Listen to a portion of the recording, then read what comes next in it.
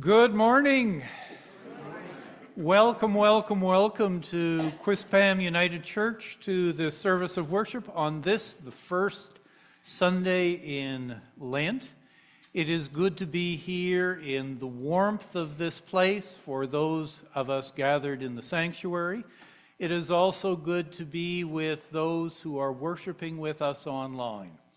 So, wherever you are, wherever you may be, please know that you are welcome here, that this is a time in which we pray that God's gifts of hope and peace and joy and love will come upon you and bless you this day. Whenever we gather as a community of faith, we gather around the light of Christ which reminds us that for us, Jesus is the light of the world, is the one who reveals the way we are to live, is the one who provides light and hope for us in times of darkness and need. So this morning we focus on the light and we give God thanks for this gift.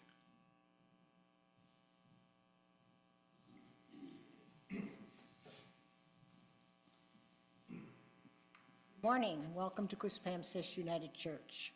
As part of our welcome, we light this candle, lit from the flame of Christ's own light and love, as we proclaim ourselves as a community where all people are invited without barriers based on age, gender, race, sexual orientation, gender identity and expression, differing abilities, ethnic background, or economic circumstance.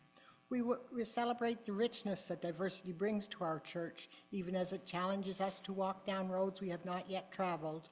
We pray for God's Spirit to guide us as we work for reconciliation and justice for all persons in both church and society. And as we gather to worship, let us pause to remember that in this region we live and work and worship on lands that are by law the unceded territories of the Wabanaki peoples, predominantly the lands of the Mi'kmaq, Wolastoqey, Passamaquoddy, and Penobscot. May we live with respect on this land and live in peace and friendship with its people. Thank you, Diane. Celebrations. We have some celebrations. First of all, a special and heartfelt thanks to all of those who worked so hard to organize and help with the Shrove Tuesday pancake dinner. I think we served over 90. Yeah, we had 91 plates. 91 plates, and I think it's fair to say that a really good spirit abounded. So thank you to you and to all of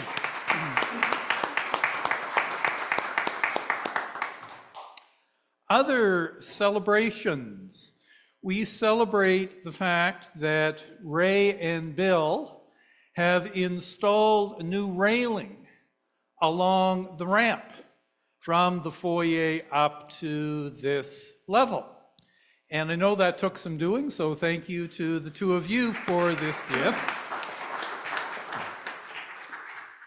I happened to be around here on Thursday evening, and lo and behold, what did I see was two little elves who are standing by the sign by the road and changing it for us.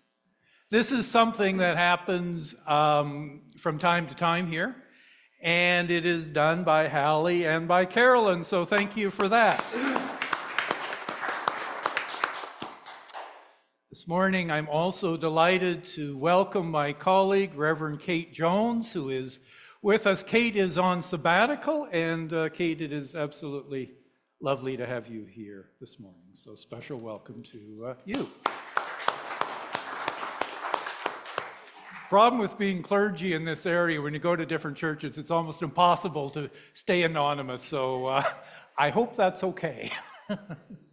Other celebrations, announcements, pieces of good news. In that case, let's join in the singing of our choral introit.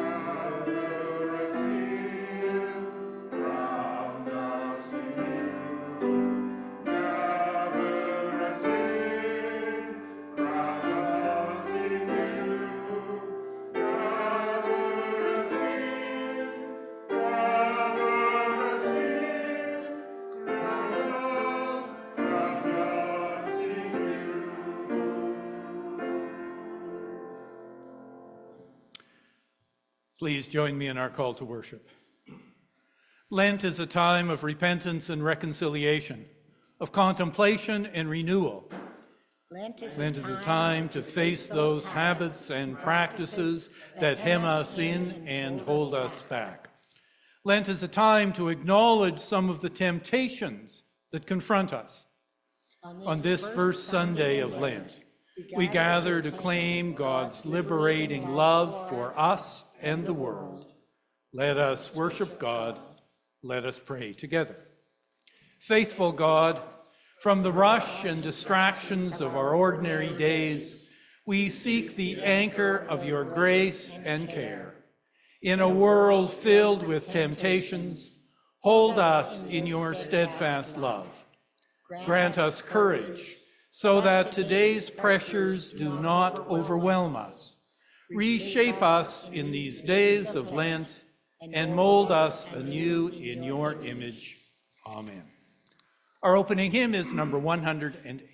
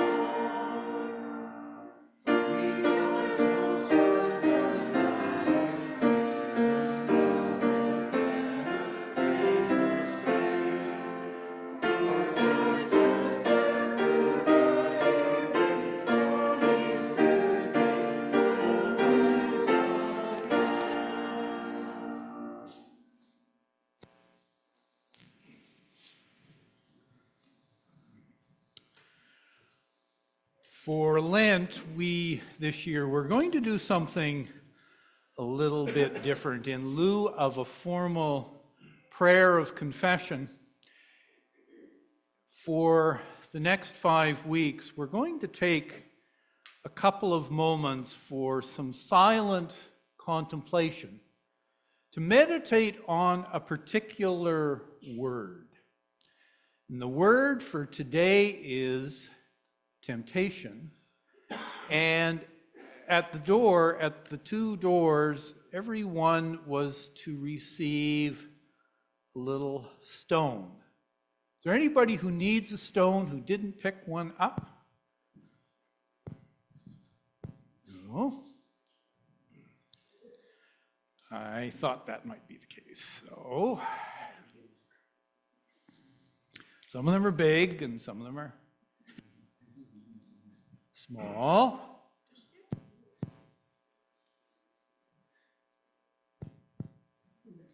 You have one. Well, there you go. Keener you are. You okay? You're okay. There we go. Hi.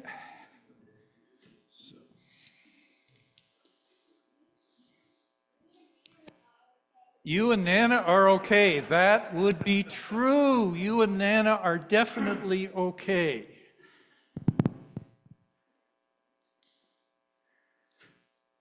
Go.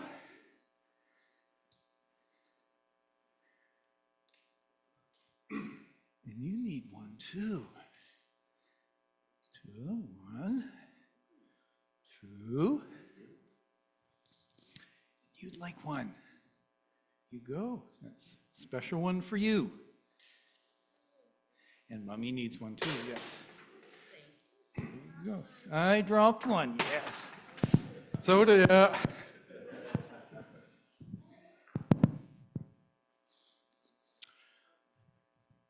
So, temptations. They abound.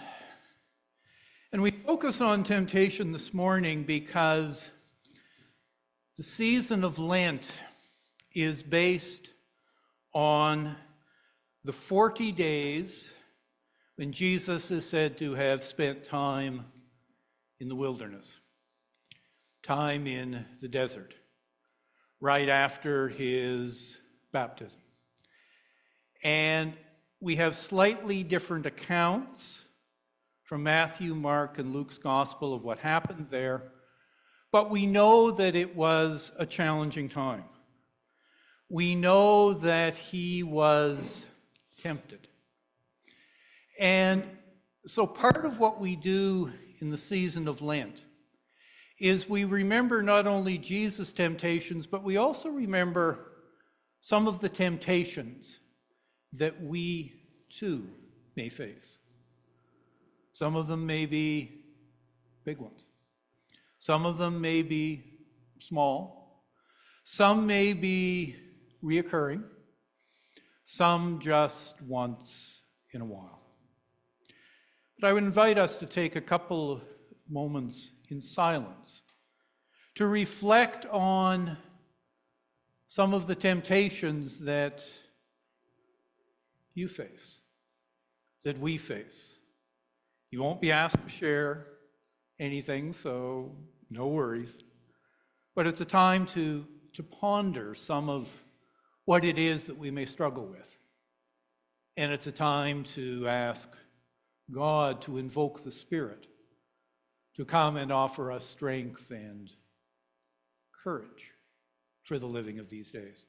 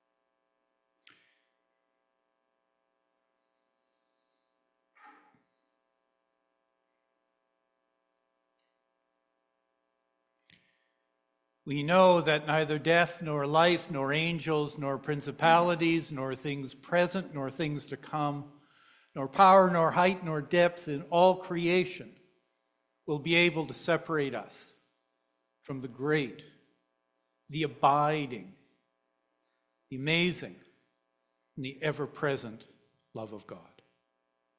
Amen.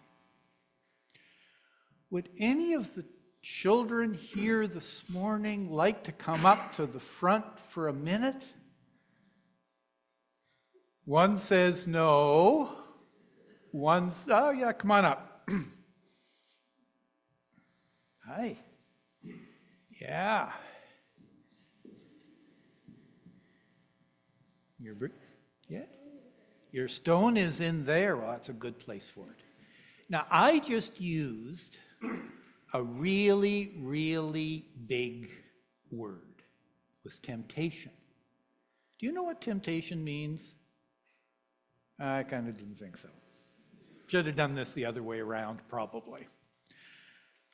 Temptation is something that we sometimes want to do even though we know we shouldn't. So, do you ever, is there ever something that you think you would really, really like to do, but you know that you probably shouldn't do that? No. What a good, what a good, what a good guy, what a good guy you are. Well, do you ever want to have ice cream or something in the middle of the day before your supper? Yeah? Is that something that we should do on a regular basis? Uh-uh. But we still want to do it, right? Yeah. That's a temptation. And so part of what we do is we try to admit, and we try to recognize some of the things that we get tempted by, like wanting to have ice cream in the middle of the day when we probably shouldn't before we have our supper. And it's important to be able to identify these things so that we can do something about them. So I hope that you will know that even though we get tempted sometimes, and all of us here, all of us here get tempted. All of us here want to do some things that we know that probably aren't that good for us. We know that this is natural. And we know that with the help of our family and our teachers and people in the church, that we can live the way that we're supposed to live. Now, I'd like to teach you a prayer. That okay? So I'm going to say a line, and I'm going to ask you to repeat it, and we're going to ask everybody here in the church to join in, so you're not alone, okay? You up to doing that? Let us pray. God be in my head and in my learning. God be in my eyes and in my looking. God be in my mouth and in my speaking. God be in my hands and in my doing. God be in my heart and in my loving. Amen. Thank you for coming up here, and everyone who wants to can go off to Sunday school.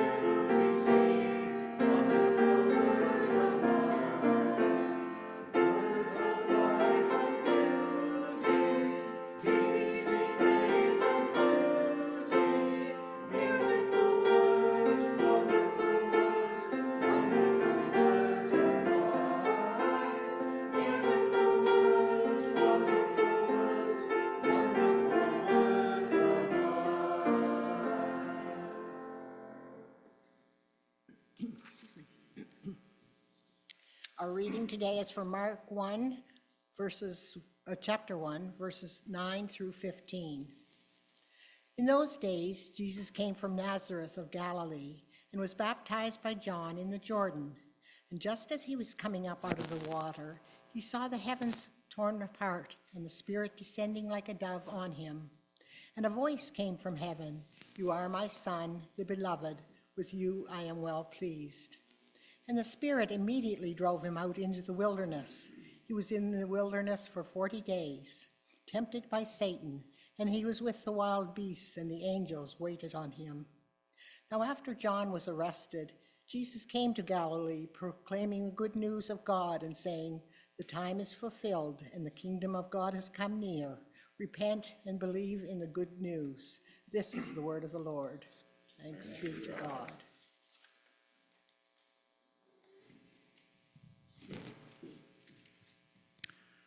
Let us pray. Holy One, may the words spoken, heard, and pondered this day be acceptable in your sight, be in accordance with your way. In Jesus' name we pray.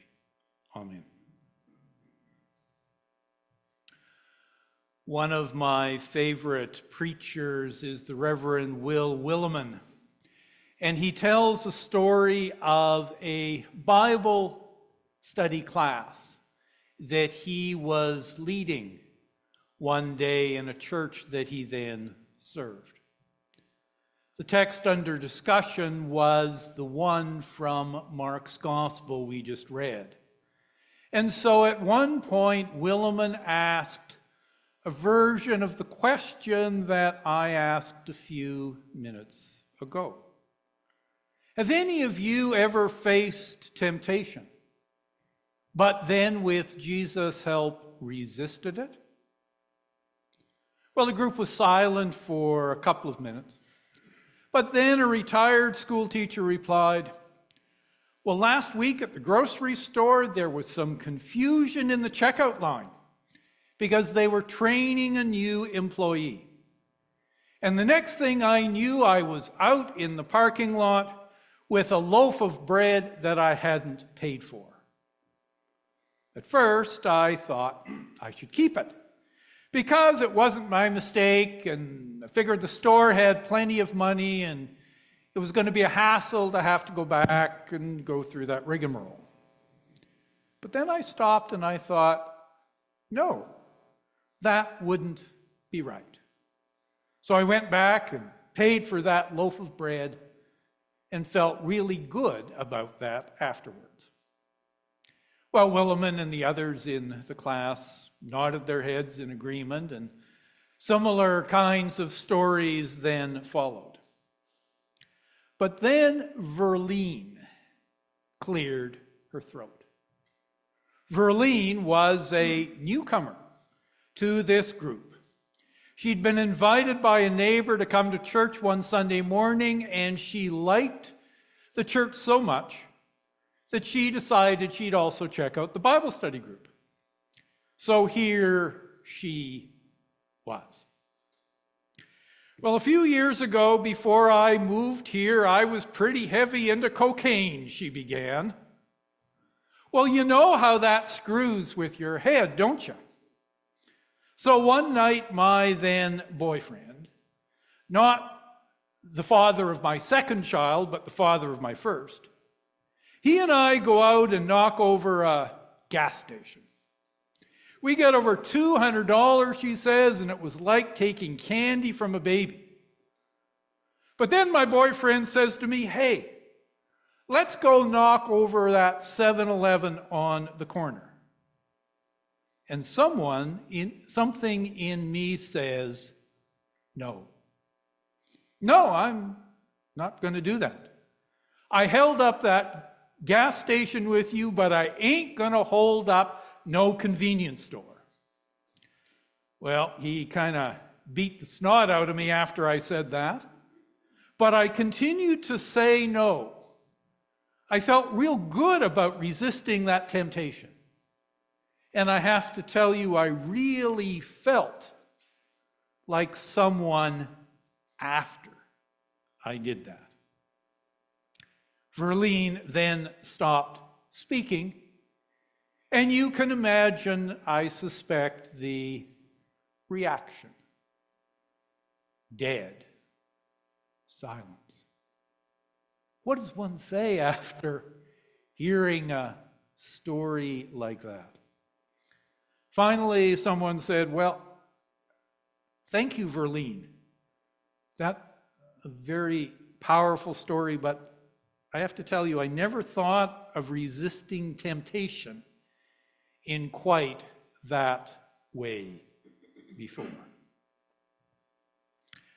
These stories remind us that all of us face temptation sometimes, and all of us are required to make decisions, make choices. Of course, some, like Verline, deal with temptations that some of us, many of us probably, have never had to face.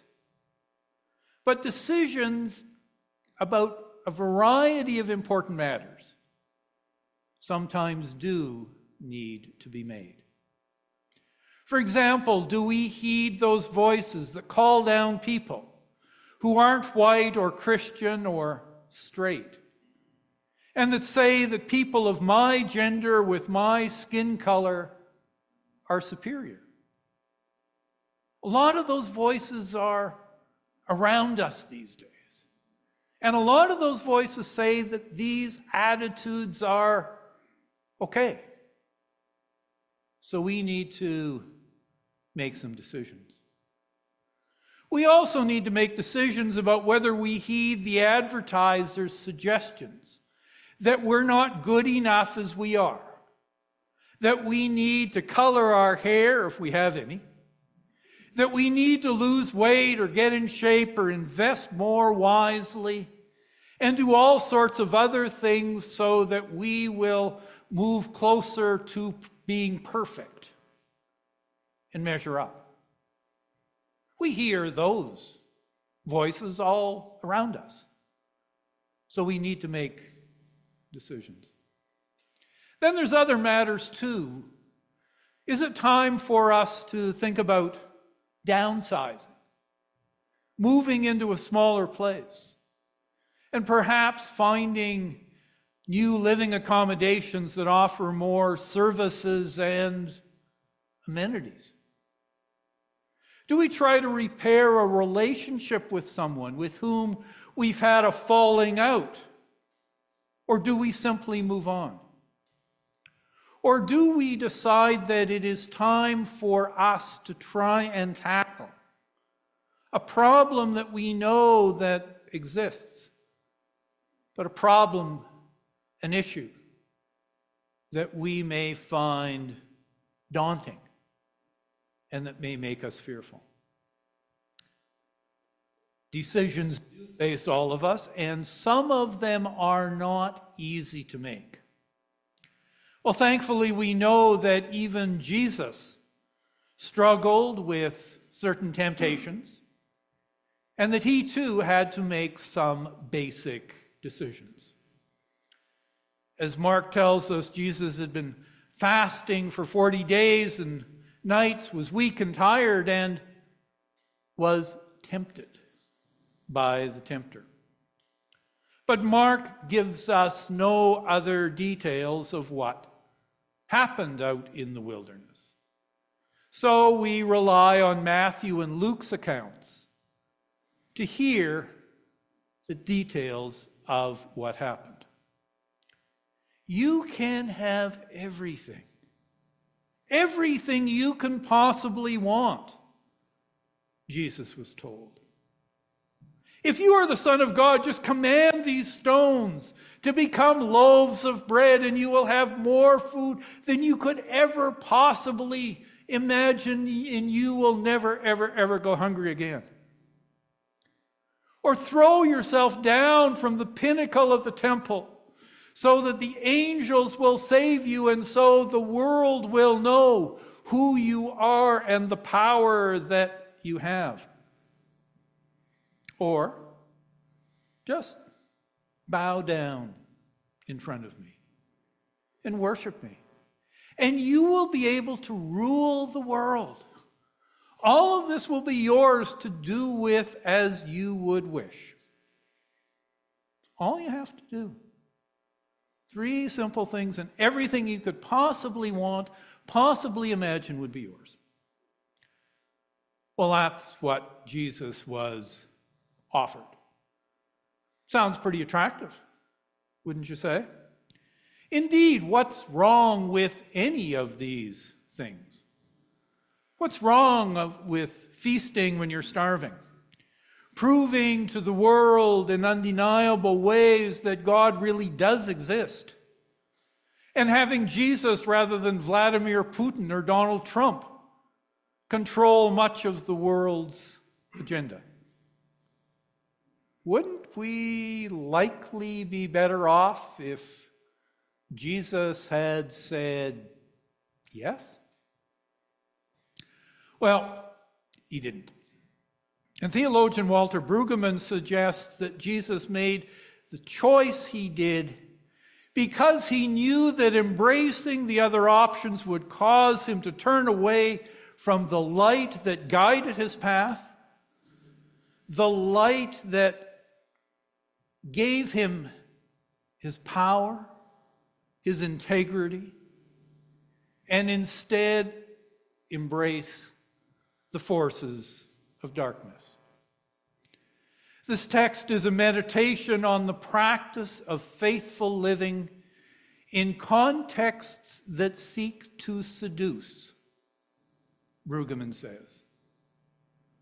Meditation on the practice of faithful living in the context that seeks to seduce. And so this text is profoundly pertinent to your life and to mine.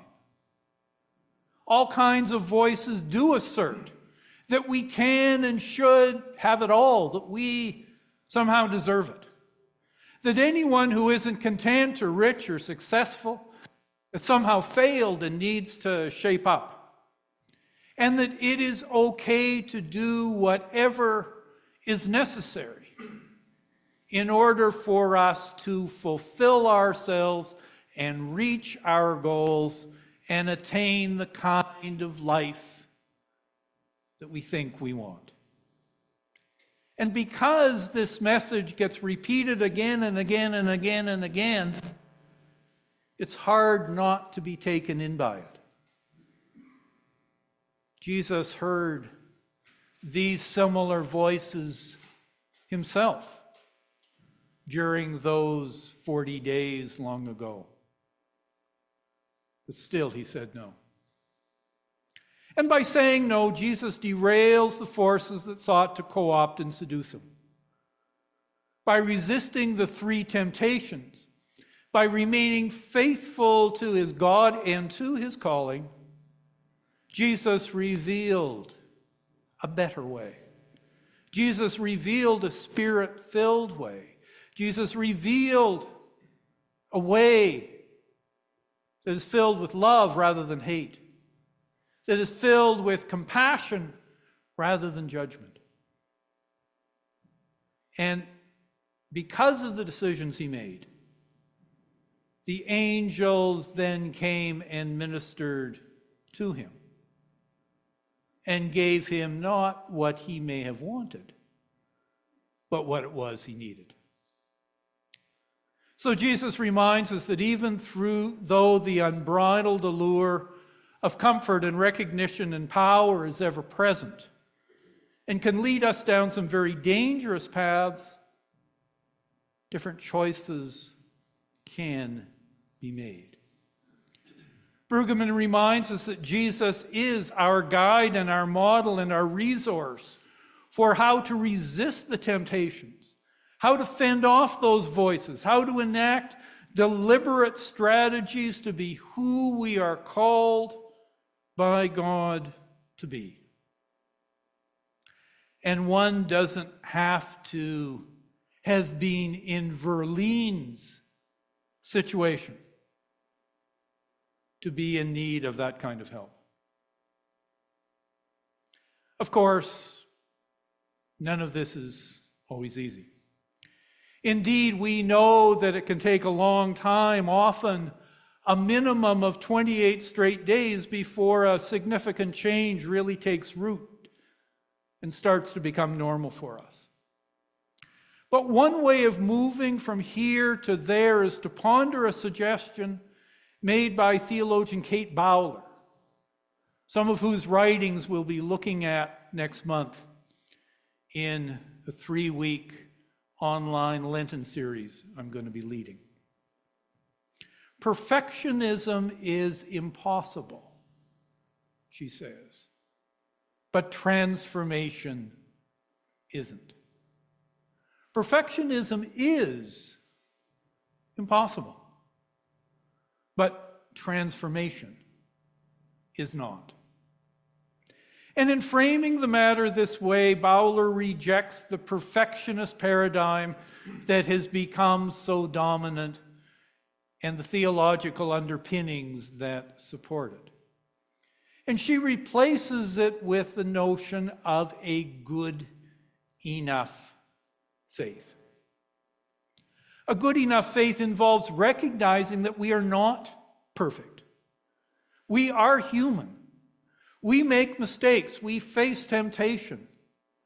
Sometimes we do that successfully, sometimes we don't. But this is who we are. And it means that accepting that not only will we make mistakes, we will experience both hurts and disappointments, and so will need the gifts of grace and forgiveness to go on. And she also tells us that we are dependent on one another for our health and our well being and our survival. And that all of the messages that say that you have to do it on your own and it's up to everybody to lift themselves up by their own bootstraps simply is not consistent with the way that we have been designed to live. Rather, we are blessed regardless of how our lives appear on social media or the impression we give to former classmates at our high school reunions. We're invited to take small steps and not reach for the utterly impossible. And to use slightly different language, we're invited to see ourselves as being works in progress. We're invited to do our best. And to remember that we're not alone on the journey as we strive to do that. All of this involves effort and can mean accepting change and risking change and growth. But it's premised on the belief that new forms of life and hope and love can and do arise in those places and spaces where Jesus' template for life becomes ours, when certain temptations are resisted, and when certain moments of transformation occur. So, what does this actually look like? Well, it's a bit like what an old Mennonite pastor once said about putting first things first. As the story goes, he took out a wide mouthed mason jar, began filling it with sand. Then he added some smaller stones than the bigger ones, and soon he ended up with what you see on the screen. The jar was overflowing, things wouldn't fit. The big stones, the important stones in some ways,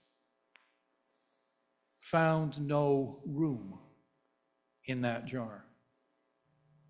But then he said, Notice now what happens when you do it differently. And the old preacher then put most of the large stones in first. They anchored the bottom. The medium stones then filled in some of the larger cracks. And finally, sand filled in the rest. Presto. All the stones fit snugly in the jar. There was still lots of room at the top. All because the biggest ones went in first. It can take some time and some discernment to decide what the big stones and the small stones of our lives should be. To distinguish the key priorities that matter most from the ones that just fill in the cracks. But doing so is important, Bowler concludes, because it allows us to build our lives on them. And that is true not only for us as individuals, but it is also true for us as a congregation. It is true for this church. Indeed, you will still soon be asked to examine the blueprint for the next phase of ministry here that your faith profile committee has been working on. And you'll be asked to make some decisions about what the big stones of your faith and your vision are to be. Making choices isn't always easy because temptations do abound. But times like this can also be exciting, filled with new energy, new hope, and new life. And I believe that remembering the decisions that Jesus made in the desert, recalling the priorities he chose, will help you and us make choices that are faithful, sure, and strong. May it be so. Amen. Our hymn is number 115.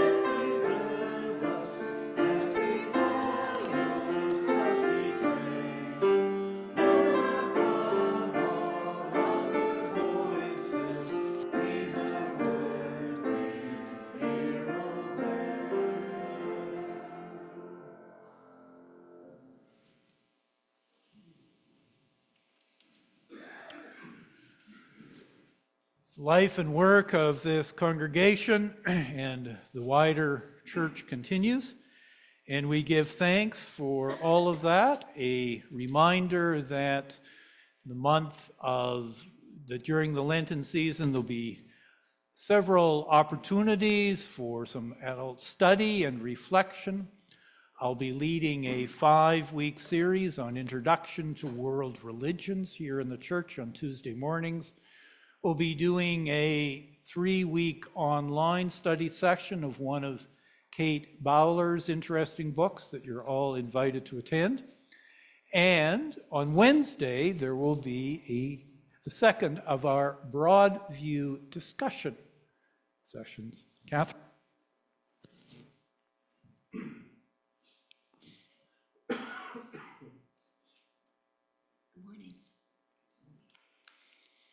I just want to remind everyone, this Wednesday, 10 o'clock, we will have our second Broadview Banter discussion group. And you get into the group by the same way that you would get online worshiping. So it's the same link, and we'll meet at 10 online. And I think perhaps we'll be done around 11-ish, depending how chatty we all are.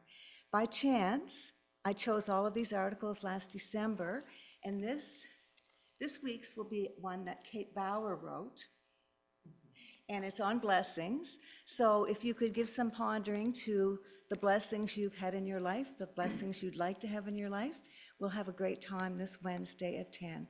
And thanks to Leslie Reed, she linked this article uh, with the PDF file, and it's in the announcements. So if you don't get a paper copy of the article, you can pick one through the online uh, announcement page. Thank you. Thanks. Carolyn?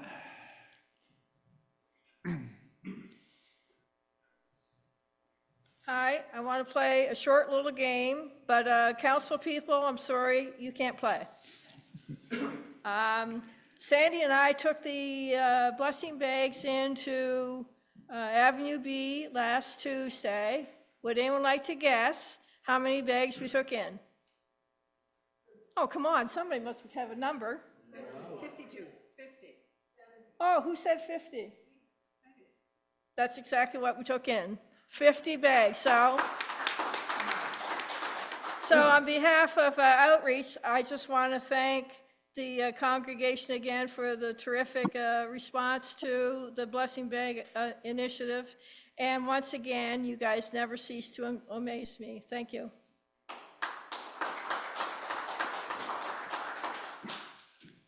I know we briefly talked about the pancake supper, but I just wanted to thank everybody who contributed from the setup, cleanup, put up, take down, dishwashers, those who helped with the decor. We had um, little centerpieces that we got to add to the, to the day. We had um, Shrove Tuesday, trivia placemats. Um, And uh, it's, it's amazing how people just get together, people just work and things get done. Amazingly, your, your efforts didn't go unnoticed or unappreciated, but it's hard to name everybody to thank people for what they did. We, even in the days of rising grocery costs, we managed to make $588 profit after expenses, and I just want to say thank you for everybody who came and supported us, and most of all to people who showed up and ate pancakes with us, because without you, this couldn't have happened. Thanks so much.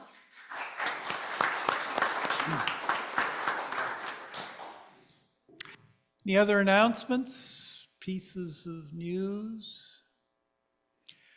The life and work of the church here and abroad relies on the generosity of all of us, the generous givings of gifts of time and talent and energy and money. We are grateful for these gifts. We give thanks for the hearts that have given them, and we give thanks for the way that they have been given. With thanksgiving, let us join in the singing of our dedication hymn.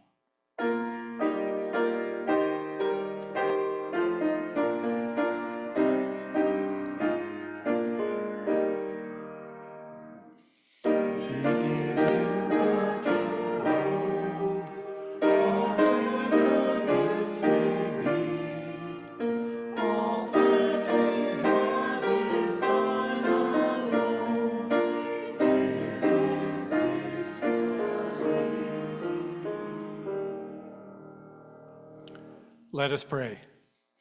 O God, the source of all good things, we bring to you our gifts, our earthly things, the love of our hearts, and the service of our lives. All this we give through Jesus Christ, your Son, our Lord. Amen.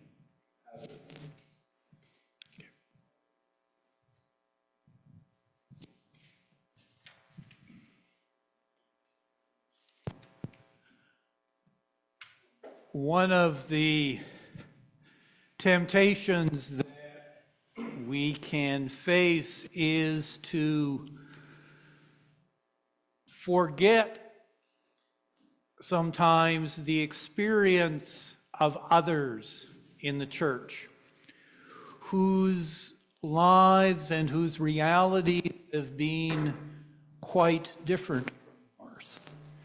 And so, as part of our recognition of Black History Month, I'm going to show just a short video from the United Church on Nancy Oliver Mackenzie, the work of Union United Church in Montreal, and how this congregation has provided sanctuary and inspiration and strength to members of the Black community in that city.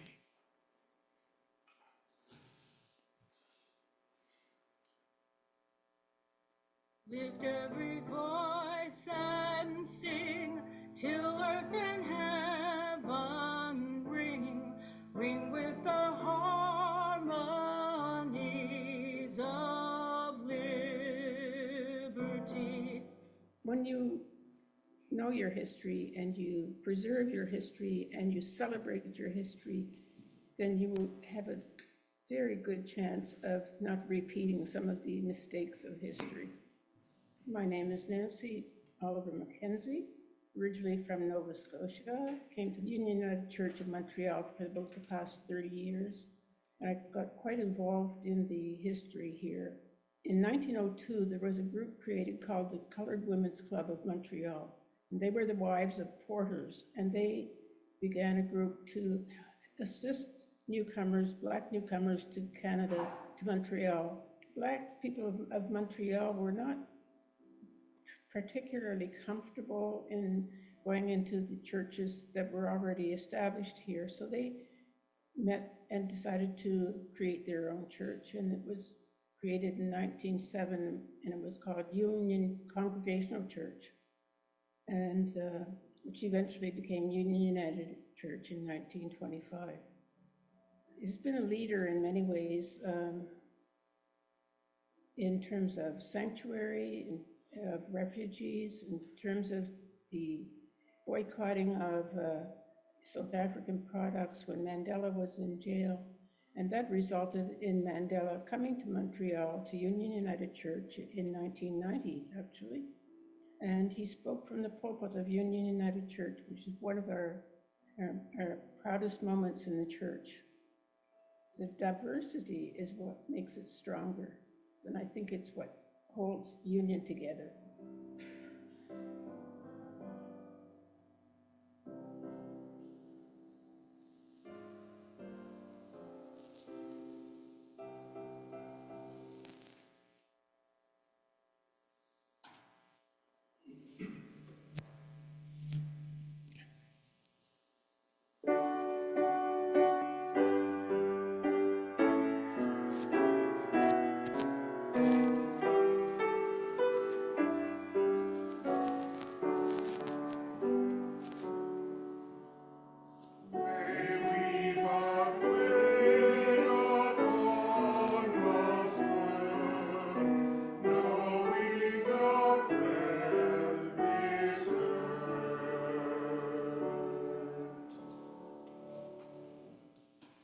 Let us pray. As we enter into this holy season of Lent, O God, we give you thanks for your promise of new life that sustains us, encouraging us when news is difficult, offering strength and hope when we are weak, providing direction and wisdom to help us make faithful and spirit-filled decisions.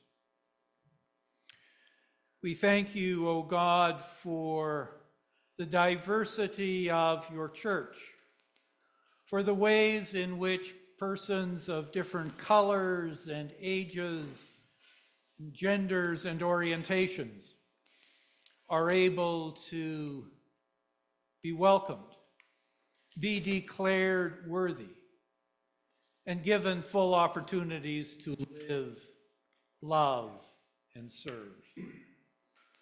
May the spirit of inclusive love, may your spirit of inclusive love pervade our churches and reach beyond these walls. This morning, we give thanks for even the tiniest signs of hope that appear in a world that seems so fraught, so troubled, so bruised. We give you thanks for glimpses of beauty and a smile or a ray of sunshine, for the people who support others in times of difficulty. Thank you for the chance to recover from mistakes and to begin again. We remember, O God, those who are in special need of grace and care and love this day. We remember those who have been excluded because of race or class or creed or age or gender or orientation or ability, and who carry the scars of that exclusion. We remember those who have been hurt by harsh words or careless deeds. We remember those who are carrying heavy, heavy burdens that sometimes feel too heavy to care. We remember those who are seeking employment or who are worrying about their jobs or their businesses. We pray for troubled places in our world, for those who work for reconciliation and understanding. We pray for peace, for peace in Middle East and Palestine and Gaza, for peace in Ukraine, for peace in other war-torn parts of this planet. We pray too, O God, for churches seeking new ways to minister in changing times who are finding and searching for new opportunities for service and faithfulness in new ways of being. Watch over this congregation as it enters into a time of decision making and discernment. And finally, O God, we pray for those who are close to us, who are in special need of your care and your grace. We pray for the Smith family, for Kristen, for Peg and Jacques and Pam. We pray for Ken, Bonnie, Doris, Gloria and family. We pray for Nancy and Rose, for Pat and Andrea, for Mac and family, for granddaughter Jean, for Sandra and Peggy, Ford. We pray for Barb McBean. We pray for all of those in war torn countries, for Kim and Wayne, Tina, Linda, Ada, Stephen, Henry, Ricky, Heather, Stephen, Peyton, and family. And we pray for those, O God, whose names we lift before you now in silence.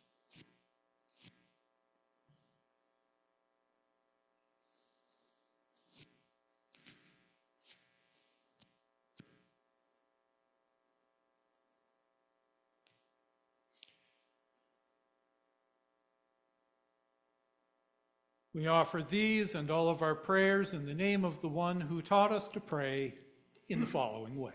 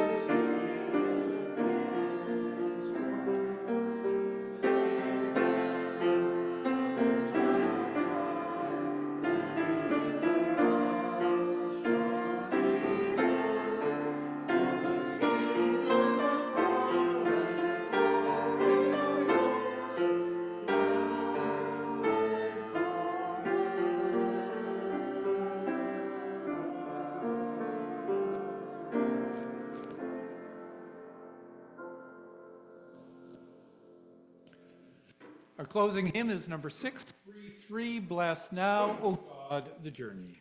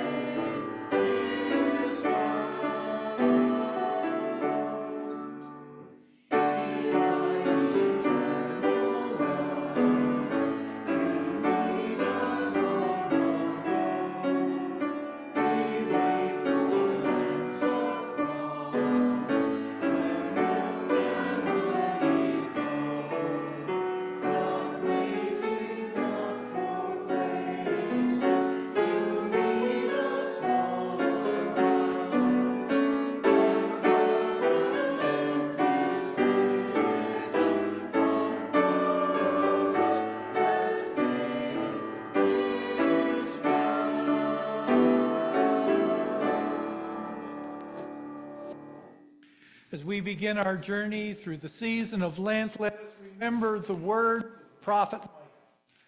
What does the Lord require of us?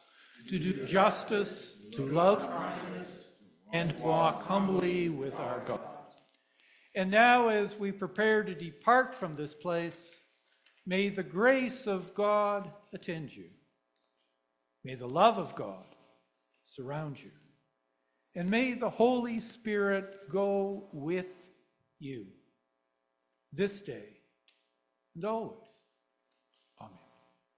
Amen.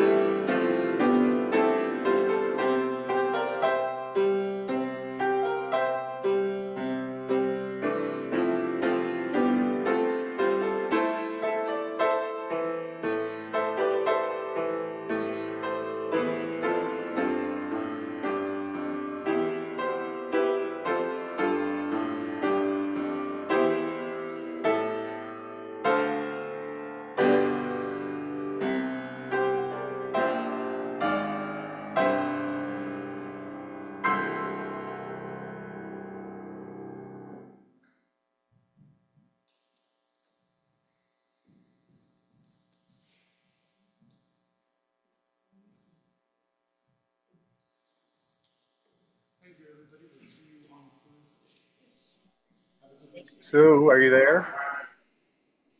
Yeah, I'm here. I, I'm sorry, I'm just starting to shut stuff down and I just saw your note. I know. That's all right. I wasn't going to butt in. Yeah, that's all right. No problem. Good service.